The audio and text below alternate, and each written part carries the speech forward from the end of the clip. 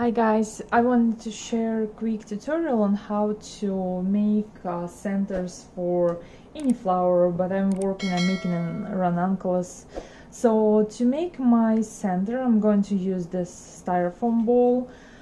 Uh, this is 20 gauge wire and I need to make a hook relatively large, I would say. And this is half um, of about 6 inches and another 6 inches of uh, 28 or 26 gauge wire. So first step I'm going to do is I'm going to poke a hole through my styrofoam and insert my 26 gauge wire like this in the middle. And then the large wire is going to go perpendicular to that and through the styrofoam. So like this. Then this two pieces of 26 gauge wire I'm going to bring down like this. One on one side and one on the other side.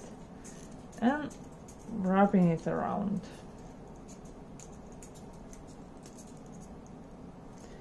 So now my styrofoam ball is secured to my large wire without any hot glue or any other glue.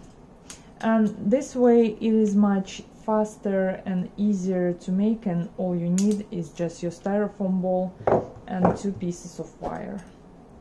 I'm going to press this down and to make sure that I'm not going to scratch myself I'm going to cover this part in a little bit of floral tape.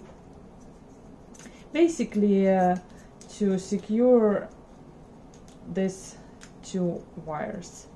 And now I have my styrofoam center and to make a ranunculus flower like I have here I'm going to cover this in wafer paper let it dry and then it is going to be ready to use